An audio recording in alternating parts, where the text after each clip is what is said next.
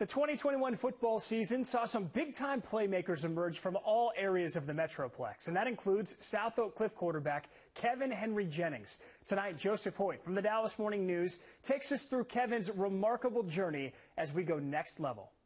One of the most telling signs of a Division One caliber player is not only the talent they display on any given play, but also the consistency in which they do it. That may explain how South Oak Cliff senior quarterback Kevin Henry Jennings went from no scholarship offers to multiple over the course of his senior season. Henry Jennings, a six-foot-one quarterback, had an incredible final season for the Golden Bears. Prior to the state championship game, he had already thrown for nearly 3,000 yards, 36 touchdowns, and just three interceptions. He did it consistently against all types of competition. Henry Jennings didn't have a scholarship offer or a 24-7 sports rating to start the season, but after a big year, he earned both. He originally committed to Missouri State, but as SOC kept winning and he kept balling, more offers poured in.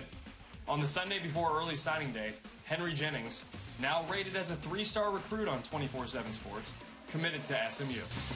In a talent-rich state like Texas, players are bound to get overlooked.